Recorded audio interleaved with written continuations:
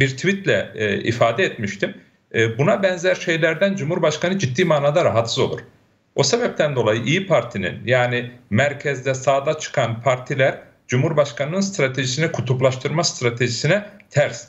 Hatta onun ötesine geçelim. Bugün yeni partiler de çok daha ters. Cumhurbaşkanı artık eskiden bu e, yürüttüğü bir taraftan e, dinin savunucuları, milletin değerlerinin savunucuları, diğer tarafta da dinin karşısında olan e, toplumsal değerlerle barışık olmayanlarla e, mücadele e, kurgusunu artık sürdüremiyor. Bu sebepten dolayı e, ay, ay, bir ciddi bir şey var. E, kin, nefret var, bir hiddet var. Tabii milletin birliğini temsil etmekle mükellef olan bir makamda e, bu yaklaşımların olması gerçekten çok büyük bir gaflet, Türkiye için çok büyük bir zillet, çok büyük bir talihsizlik. E, buna e, büyük bir acı içerisinde bunları beyan ettiğimi, Cumhurbaşkanı adına da ciddi manada üzüldüğümü ifade ederek belirtmek istiyorum. Diğer tarafta şunu da unutmamak ee, gerekiyor. Mustafa Cumhurbaşkanı Bey, ülkede araya... tekrar bir korku iklimi yaratmaya çalışıyor. Bakın bu çok önemli. Müsaade buyursanız tamam, peki, korku buyurun, iklimini tamam. oluşturmaya çalışıyor. E, bu e, benzetmemden dolayı da üzgünüm aslında. Fakat şöyle bir mukayese yapın. Sedat Peker Rize mitinginde ne yapmaya çalışıyordu? Oluk oku, oluk kan akıtmaktan bahsederken ne yapmaya çalışıyorduysa kendi ifadesiyle toplumda korku iklimini e, güçlendirmeye çalışıyordu. Bugün de Sayın Cumhurbaşkanı maalesef buna benzer bir yaklaşım içerisinde adeta Meral Akşener üzerinden cinsiyetçi bir tehditle bunun ötesinde toplumu tehdit eden bir yaklaşım içerisine girmiş vaziyette önümüze çıkıyor. Bu da e, şunu gösteriyor. Cumhurbaşkanı e, kendisini savunmak adına ortada var olan çok vahim iddialarla ilgili e, İçişleri Bakanı'nın da söyleyeceği bir şey olmadığı için Cumhurbaşkanı'nın da toplumu ikna edecek söyleyeceği bir şey olmadığı için eski alışkanlıklara geri dönüyor. Meselenin FETÖ'yle mücadele gibi bir mesele olduğu e, kanısını toplumda uyandırmaya çalışıyor. Eski stratejisi üzerinden tekrar aynı usulle toptan bir biçimde e, hepiniz birlikte gelin bilmem ben vatanı milleti e, koruyorum şeklinde bir yaklaşım içerisinde bir savunma yapmaya çalışıyor. Fakat artık bunun bir karşılığı yok. Evet. Bunun bir karşılığı yok. Şu anda yaptığı şey gerçekten o zaman da ne dedi Sedat Peker? E, ya hep böyle yapıyorlar. Vatanseverlik diye coşturuyorlar. Bakın dikkat edin benzer yaklaşımlar var. Benzer usluplar var. Benzer bir dil var. Benzer bir yaklaşım biçimi var. Dolayısıyla bugün de yapılan bundan farklı bir durum değil. Alışkanlıklar, ortak alışkanlıklar aynen sürdürülmeye çalışılıyor. Ama bugün öyle bir noktaya gelinmiş ki adeta Cumhurbaşkanı aba altından sopa göstererek hukuk devletinin daha fazla dışına çıkıp hukuk dışında bir şeyler yapabileceğini ima eden ve Türkiye'yi gerçekten çok daha büyük bir çatışma iklimine sürükleyebileceğine dair imalarda bulunuyor ki bu da gerçekten çok e, vahim bir e, sürece işaret etmektedir. Şimdi e, bu arada Orhan Uğuroğlu da bize katıldı. Hoş geldiniz. Çok teşekkür ediyoruz geldiğiniz için. Ama sizi Orhan birazcık e, bekleteceğim bir soru sormak istiyorum Mustafa Bey'e. Siz de dediniz ki biraz önce işte e, e, daha önceki taktiklere geri dönüyor. Şimdi bunu daha önceki programlarda da konuştuk Barış. Şunu sormak isterim Mustafa Bey'e. FETÖ olayında dönüp bir şekilde topluma e, biz kandırıldık. O dönemde e, benim bakanlarım da kandırıldı, ben de kandırıldım. İşte meğer neler olmuş bunlar bizimle ilgili değildi, onlar yaptılar. Sinsiler yaptılar. İşte içeriye sızdılar da yaptılar dediler AK Parti'nin e, Fethullah sonrası ekibi. Ve bunu bir şekilde de topluma anlatabildiler.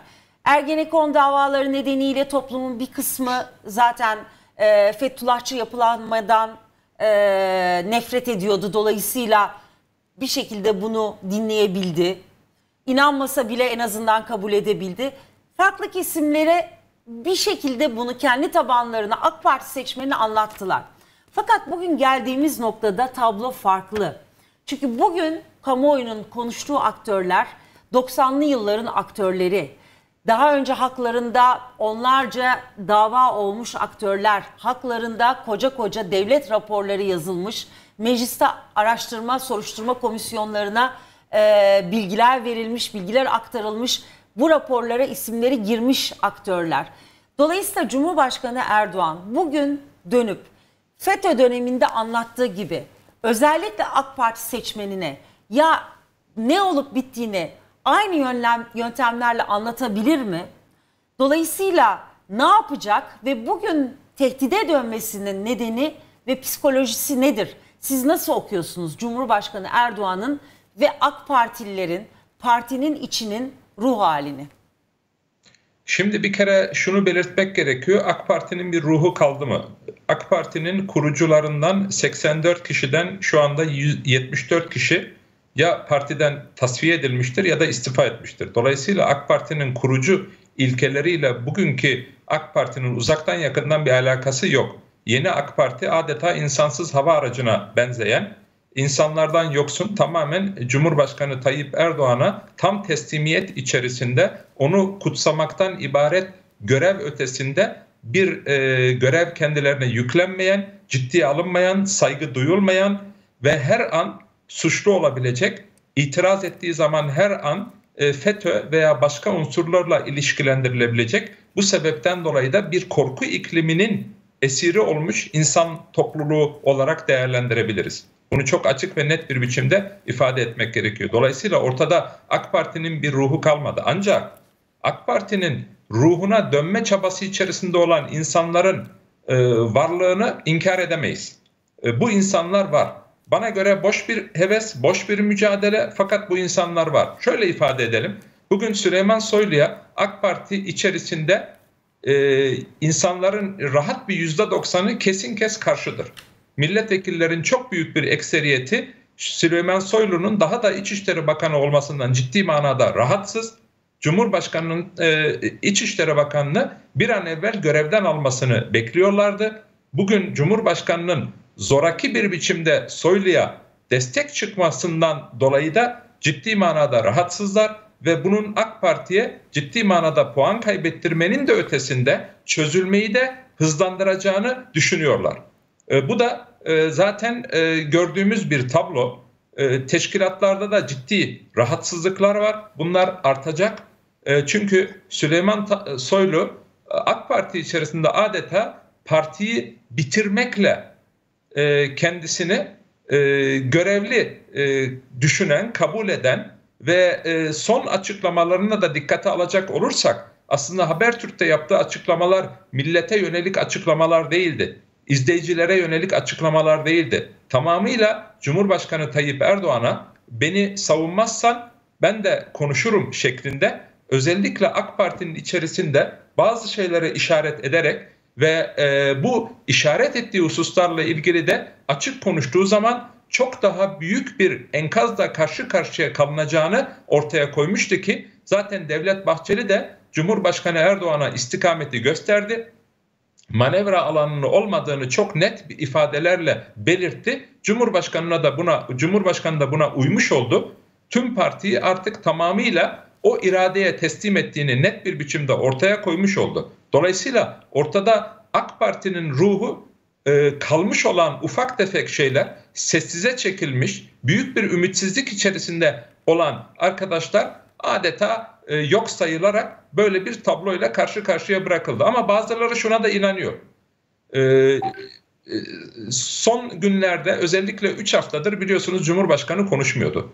Bu konuşmamasında Süleyman Soylu ile ilgili bu iddialar zaten biliniyor. Bakın burada çok önemli, çok yeni şeyler yok. Evet bazı şeyler yeni ama neticede mesela e, organize suç örgütü liderinin geçmişte ciddi manada desteklendiğini, ortaklıkların söz konusu olduğunu, bu ortaklıklar üzerinden parti içerisinde başkalarının vurulmaya çalışıldığını zaten çok net olarak görüyoruz. Bugün Sedat Peker'in söylediği birçok ifade Süleyman Soylu'nun aslında ifadeleriyle örtüşüyor. Dikkat ederseniz ne zaman iş somutlaştığı zaman Soylu çıkıyor, e, imalı imalı cevaplar veriyor ve başkalarını hedef gösteriyor. Yani e, geçmişte İçişleri Bakanlığı yapanları hedef gösteriyor. Hatta kendisinden önce AK Parti iktidarını iç güvenlik politikalarını adeta reddediyor. Ben benimle birlikte Türkiye istikrar geldi diyor. Benden önce şunlar şunlar oldu diyor ve aba altından sopa gösteriyor. Yani e, bunu içeride herkes görüyor. Ciddi endişe içerisinde. Fakat gördüğüm kadarıyla gördüğüm kadarıyla değil zaten içeride de ben bunları gördüğüm için bunlara isyan ediyordum. Yani bu ortaklık Cumhurbaşkanı'nı e, sadece kendisini güç sarhoşluğuna itmenin ötesinde e, gerçek ülkeyi de adeta bu derin güçlere teslim etti. Onların elinde esir hale gelmiş vaziyettedir. Yoksa ben şunu net olarak söyleyebilirim. E, FETÖ dediğimiz olgu 15 Temmuz'dan önce de bana göre zaten e, tabiri caizse bir FESÖ'ydü. Yani suç örgütüydü.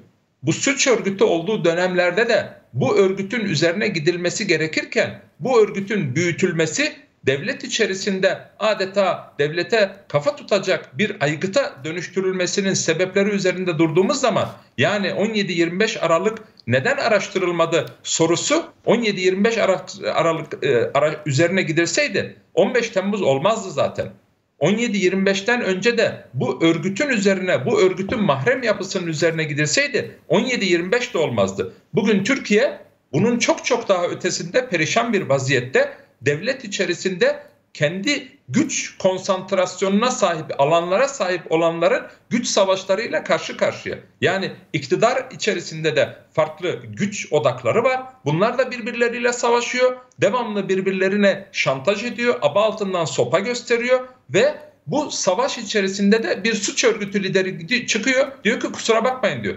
Ben diyor sizinle ortaktım. Sizin ne istiyorsanız yaptım. Ama baktım ki beni kullanıyorsunuz. Beni böyle gaza getirip kullandınız. Artık çıkıp e, biraz biraz konuşacağım. Neden biraz? Orada da bir strateji takip ediyor.